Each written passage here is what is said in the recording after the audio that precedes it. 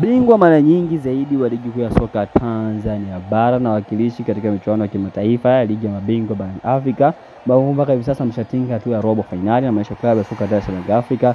Leo hii watatupa karata yao kutu, kucheza mchezo mwingine wa ligi ya soka Tanzania bara ligi kuu ya NBC dhidi ya klabu ya soka ya Geita Gold. Kumbuka klabu ya soka Yanga leo hii watakwenda kutupa karata yao ili kuhakikisha kwamba anapata matokeo mazuri ambayo yatazidi kuongezea nafasi ya kutoa ubingwa wa msimu huu. Kumbuke klabu ya soka Yanga ndio timu ambayo imevuna alama nyingi zaidi mpaka hivi sasa kutokana na michezo pia waliocheza. Uh, basi wana nafasi nzuri ya kuweza kutoa ubingwa wa msimu huu. Yanga mpaka sasa ikumbukwe ndio vinara wa ya soka Tanzania bara yes, ambapo hao wameshacheza michezo kadhaa ambapo wameweza kujikusanyia alama nyingi kwelikweli ambazo zinaifanya kuwa vinara wa timu hiyo. Lakini pia bila kusahau klabu ya uh, soka ya es Salaam Africa ndio klabu ambayo imefunga magoli mengi zaidi msimu huu eh, ligi ya soka Tanzania bara kuliko klabu nyingine, na mfungaji mpaka hivi sasa wanaongoza kwa magoli basi ni Stefan Aziz Ki akiwa na magoli 12 pamoja na sambamba na Faisal Salum Abdullah uh, Feitoto wakitokea katika klabu ya soka Azab akiwa na magoli pia kumi na mbili. Lakini pia moja wachezaji walikuwa on form sana kwa sasa kwa klabu ya soka Yanga,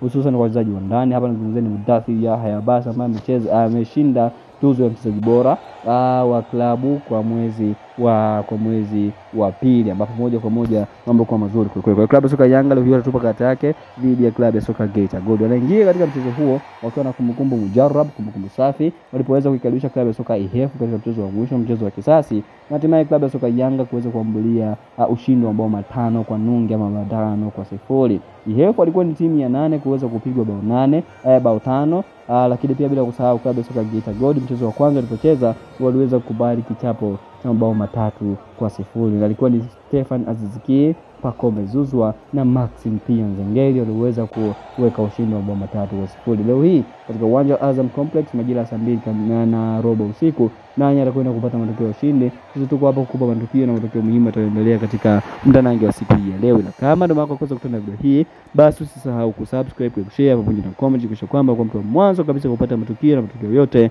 yatakayolindima katika mchezo huu wa siku hii ya leo. Asante.